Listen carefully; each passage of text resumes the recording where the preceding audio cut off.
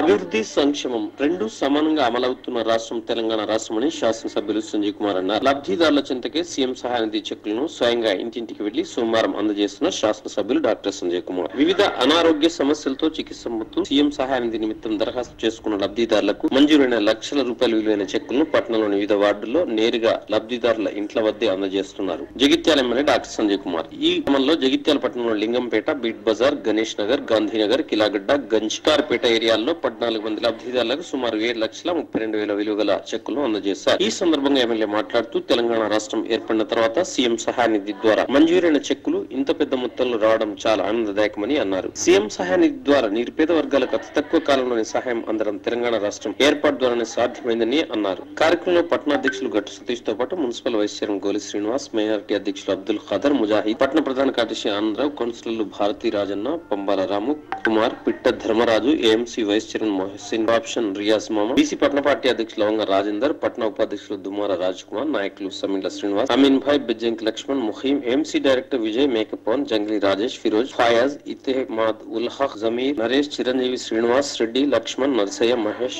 Don Srinu Kranthi తదితరులు పాల్గొన్నారు.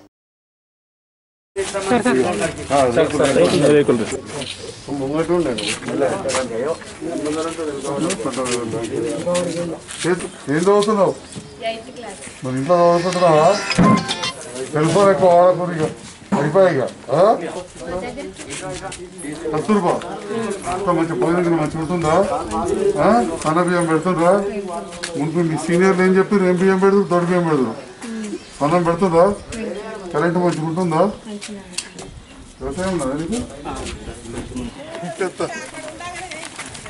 అగో అవ్వ కన్ను ఆపరేషన్ చేయాలంట తోలుకరా.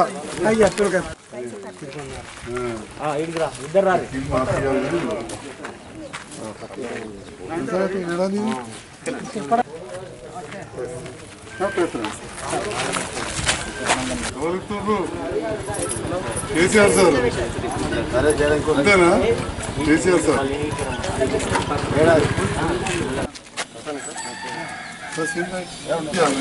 రాగానే ఒక బండి ఎక్కియాలి బండి రాయేసాం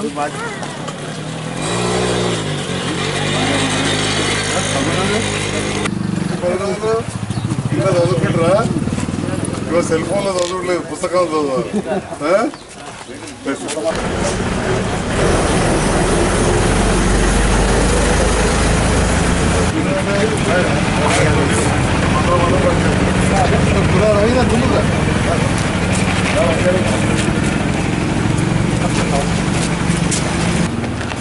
ఈ వాడి ప్రజలు తీసు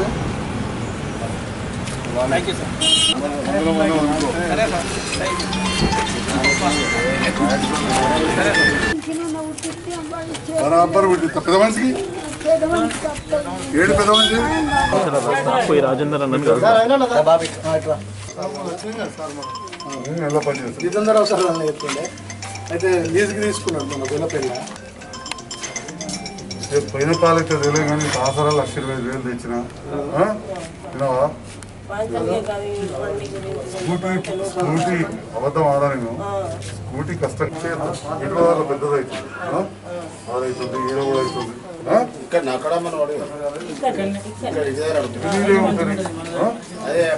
చెట్ల పని. వీటి బజార్ హోల్సేల్ అయితే అప్పుడు ఇవన్నిటికి లాభం.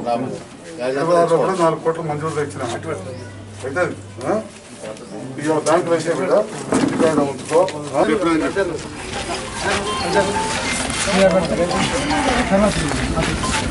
తీసుకురండి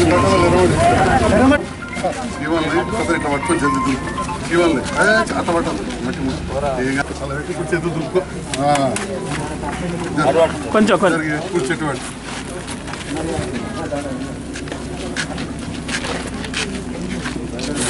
Thank you. ఇంత మట్టి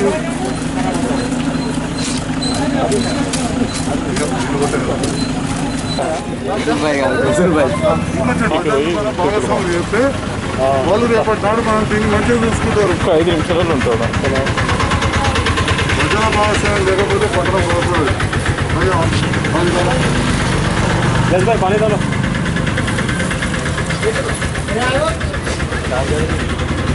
ओके अच्छा साथ देते తినలేదు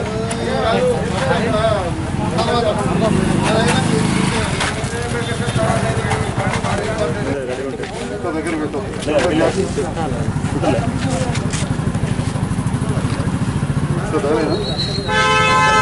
ఆరు నంబర్ పెట్టాం ఏదో గలే పక్కన పెట్టాం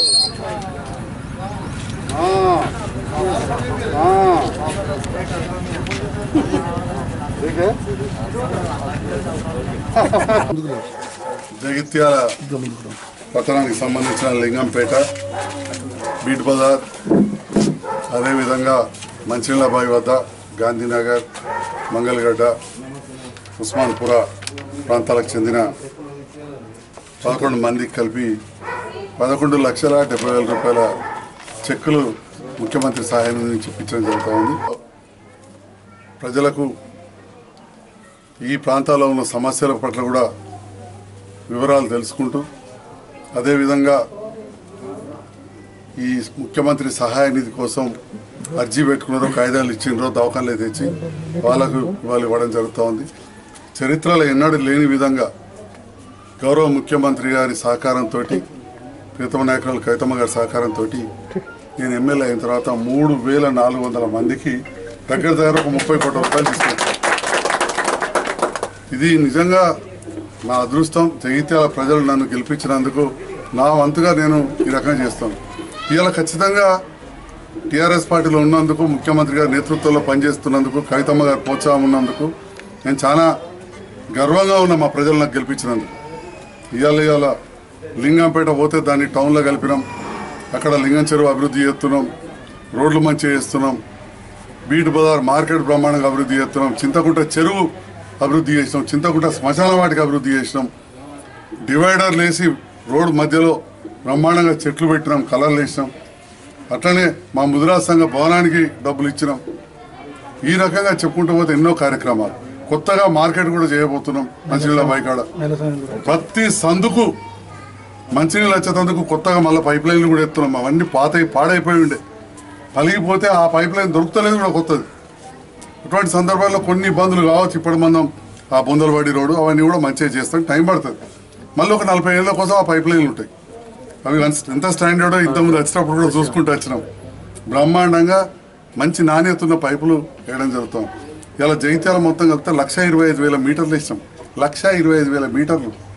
ప్రతి వార్డుకు వెయ్యి రెండు వేల మీటర్ల పైప్ లైన్లు వేయడం జరిగింది. ఏదో మామూలు విషయం కాదు. మరి ఈ రకంగా కొత్త ట్యాంకులు కూడా కడుతున్నాం.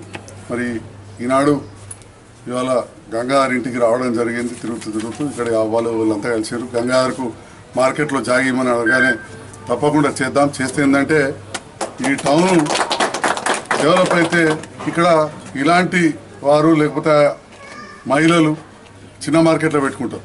చిన్న మార్కెట్ నడవాలంటే హోల్సేల్ మార్కెట్ కూడా డెవలప్ కావాలి. జగిత్యాల హోల్సేల్ మార్కెట్ కాకుండా పదిహేను ఇరవై ఏళ్ళు అడ్డం పడ్డారు. ఇవాళ ప్రజల సహకారంతో మా ప్రజాప్రతినిధులు ఉన్నారు.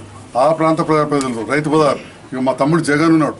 తనతో పాటు ఇంకొక పది మంది కౌన్సిలర్లు పొద్దుగాల వచ్చి ఒక పదిహేను రోజులు నిలబడ్డారు అక్కడ.